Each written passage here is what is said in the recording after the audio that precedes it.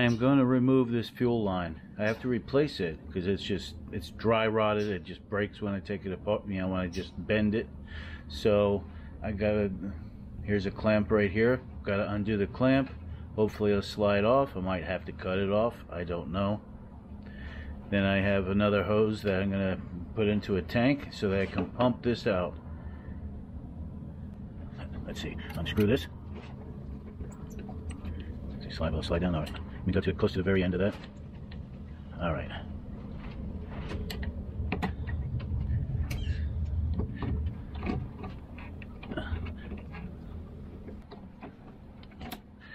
There we go.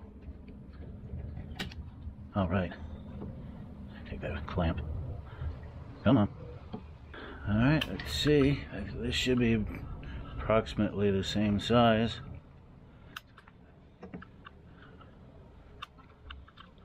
Come on, you can do it. There we go. Now I do have a pump. I might just hook a pump up to this and just pull that old fuel out of there. There is an arrow on this lever and there is the word on and there's the word RES. So when I flip this like that, it'll point to on and should uh, be able to drain the tank drain the tank down to uh, that level to right before reserve. And then I rotate this clockwise all the way so that this arrow is pointing at the letters RES it'll open up the reserve and be able to pull from all the way down to the bottom of the tank something like that now I've got everything set up to drain this tank the pump I had uh, is not going to work it, it eh, I had to throw it away let's put it that way so I've got the hose going into this little tank right here. What I'm going to do is see what happens right. Alright, I don't see much of anything happening there. What, hap what happens if I go to reserve?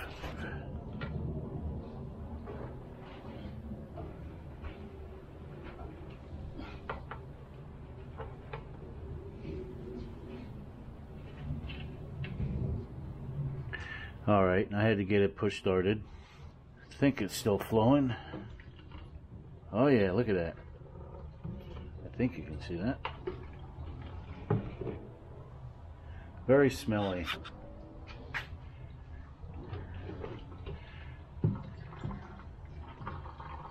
I think it's starting to run out. So we got fuel flowing showing just a little below half a tank on the gauge up top there. Hello everyone. The fuel tank was in bad shape. Interior wise, very rusty. Flakes of, you know, just bunch of garbage. Sat too long. So I tried cleaning it in place, but it, it's just too far gone. I want to take it out of there to clean it properly. So what is required, remove the battery remove the battery um, there's a bracket here both shock absorbers rear fender uh, complete both pieces the wheel as well as the rear master cylinder see this is actually even part of the tank and this cross member so, it, and here's a bolt for it. Big job. But fun.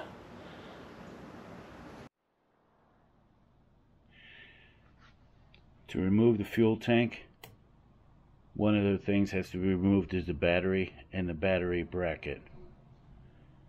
So, step one is when removing a battery, always do the negative first because it doesn't matter if your wrench touches any metal well, and the battery post because it's all linked to common.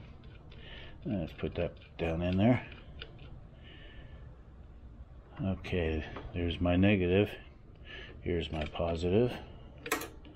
See, it doesn't matter if I touch any metal because it's not it won't complete the circuit back to the other post. Get that out of the way. Okay. Now, let's put that out. There is a rubber boot that's in. Okay, battery is out. Let's try to remove this bracket. Now these are 10 mil bolts. bolts.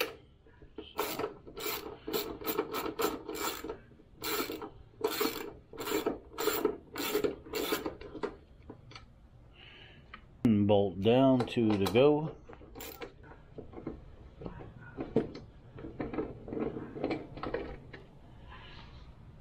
Two down, one to go.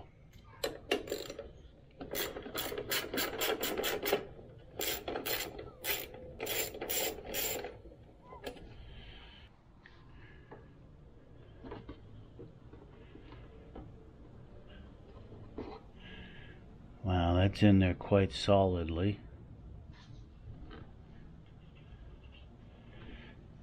My start relay is connected to it plus some wires. So in theory, I should just disconnect the wires. There's a plug.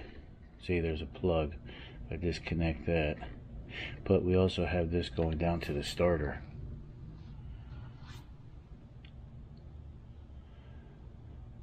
So...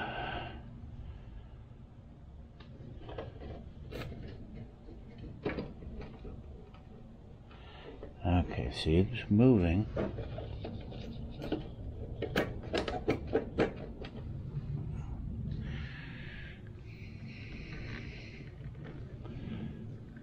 Step number one, let's see if I can, yep, I can unplug that.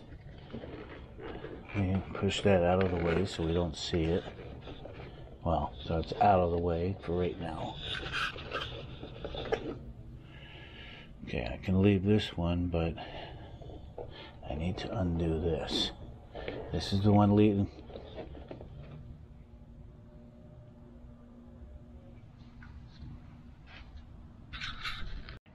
Let me disconnect going down to the wire going down to the starter. Again, this is a 10 mil as well.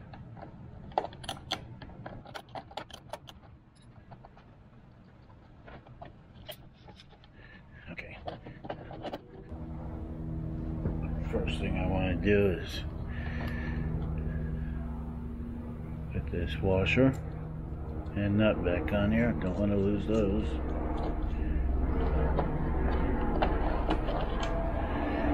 See? There we go. Looks like I have to disconnect these.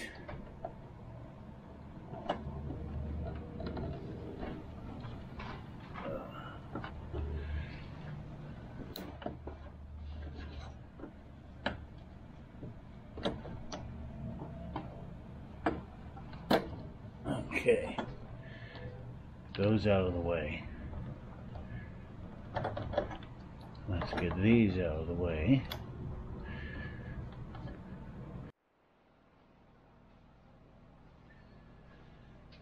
It looks like I can take this section of the rear um, fender off. Looks like these bolts are just right in there.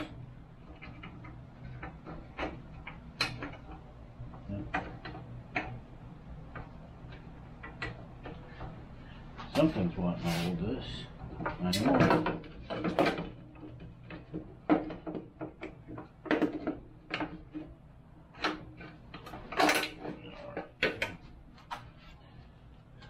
There we go.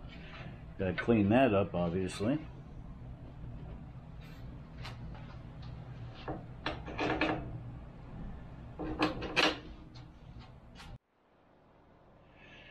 So here we are without the part of the rear fender. There's three parts. We've got this part, there's a part here, then another one. So now I've got to get this one out of here. Pull that out. And then it'll give me much more room to get this wheel off of here.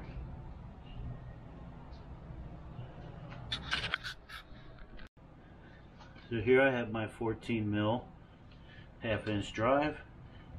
I'm going to take this shock absorber off. Start with the lower end. Okay, there's one bolt.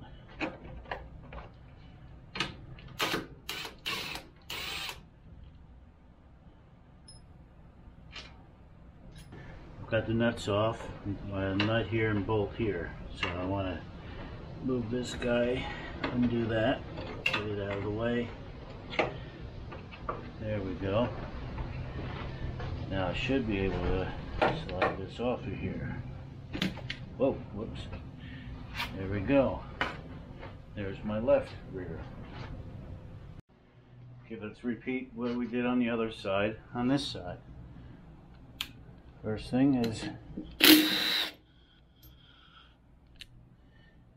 okay. Oh, this side's different. So I've got the nuts and washers there, nut and washers. This one's already loosened because of the rail I take out, took out.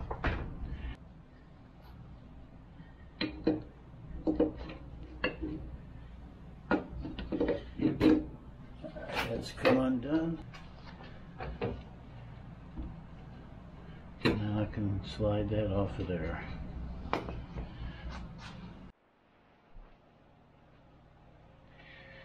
Let's try to wiggle this out of here. Whoops. Okay. Yeah, this thing needs to be cleaned. First thing I want to do to take the caliper off is get rid of this hose. Yeah, there may be some fluid in there. I don't know. The um, master cylinder doesn't seem to work properly. Okay, so. Okay. Just put that right back in there. Okay, now that's out of the way.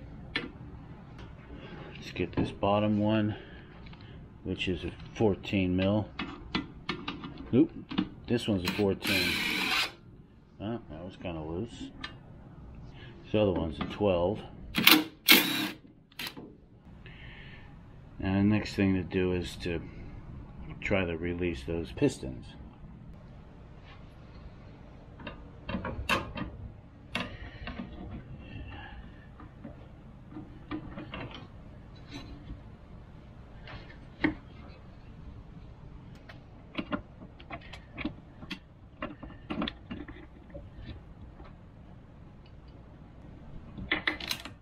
trying to look. Oh yeah, look at that. Now I'm gonna be able to get this off of here. Yep. See. These pistons don't want to move right now. Wow, look at these pads. They're in great shape. Oh, alright. Cool. I need to raise it so that this pin or the axle clears the mufflers.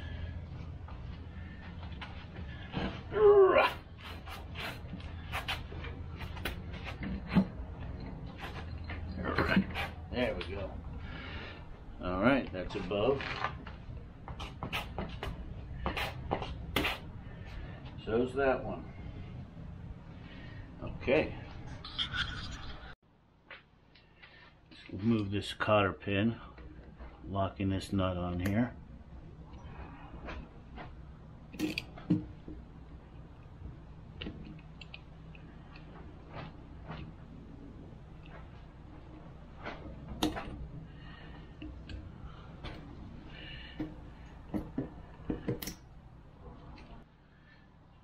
Even though it's a metric bike, I have to use a 15 16th for this.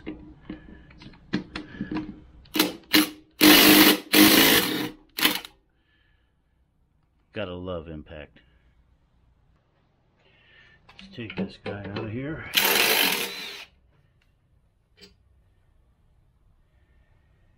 Okay, they say I'm supposed to do some inward pressure on here as I'm taking it out.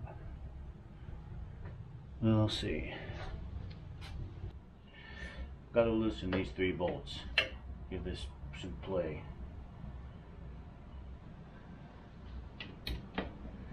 Yeah, that was easy.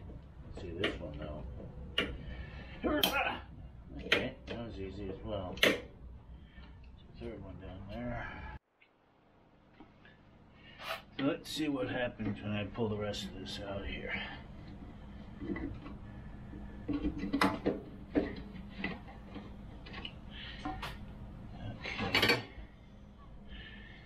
There we go. Clean that up. I that's a 14.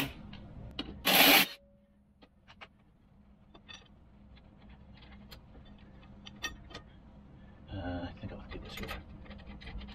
Okay. All right.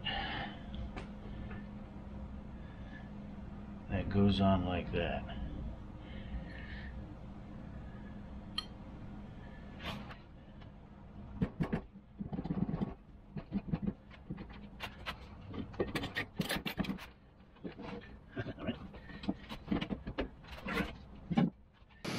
Here's the wheel. I have the wheel off. I have the caliper, the two shocks, the axle, the brake holder, to um, well, three. This is actually two parts, three fenders.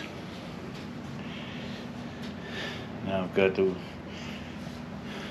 now I have to do that master brake cylinder there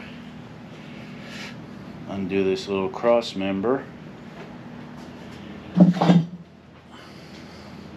I might be ready to pull that out of there next step is to take this cross member off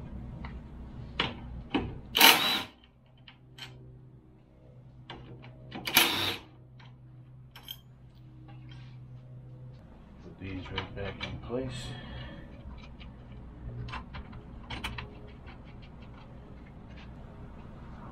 believe I have to undo this one as well.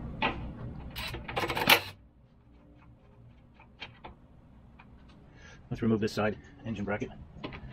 This one's a 12 mil.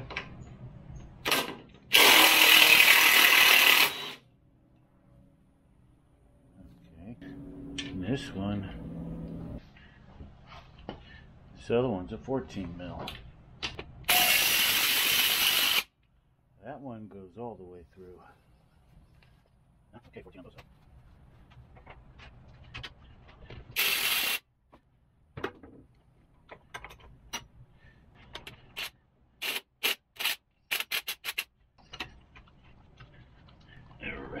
Well, guess I need to clean all this. Not for right now.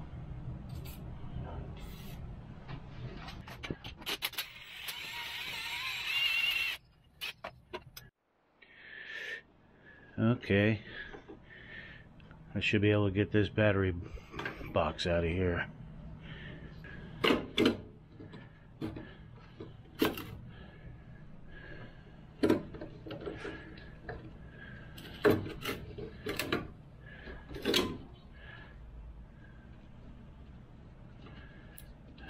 Okay, gotta remember that guy.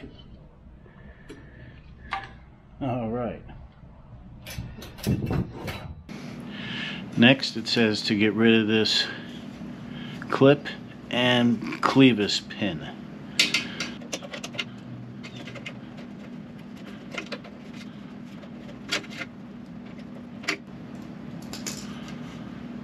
This pin should come out. Might need a little persuasion. There you go.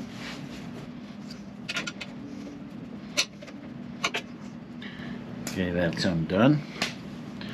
Next, I need to loosen these two bolts here for the master cylinder, the rear master cylinder. One bolt, two bolt. Need to take this fuel valve off of here.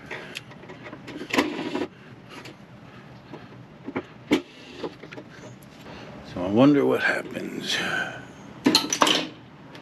Guess that answers that question. Uh huh, okay. Guess I'll clean that up. Alright, these are rivets. I'm not going to drill those out. In theory, I could open this up.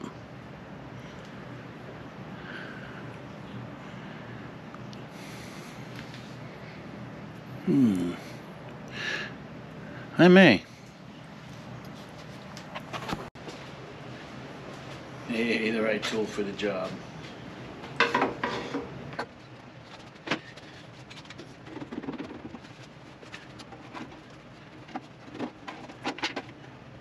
Okay, I didn't mention anything about pulling these wires back through. Sure, those are easy. Okay, come on.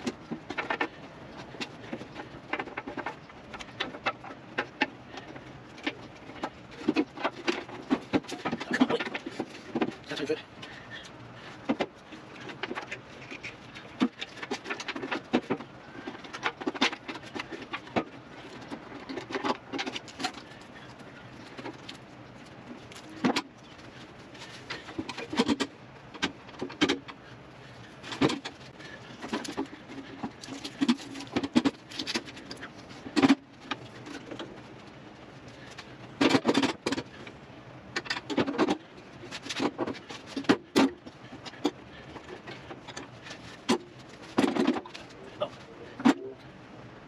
Ah.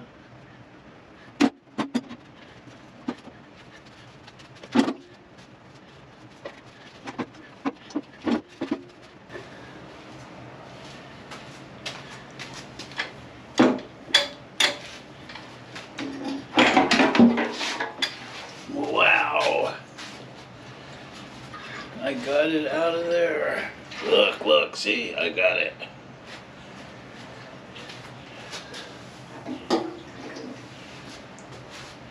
That was a pain. Fuel tank is out. There's the fuel tank. Now, here is the bike without.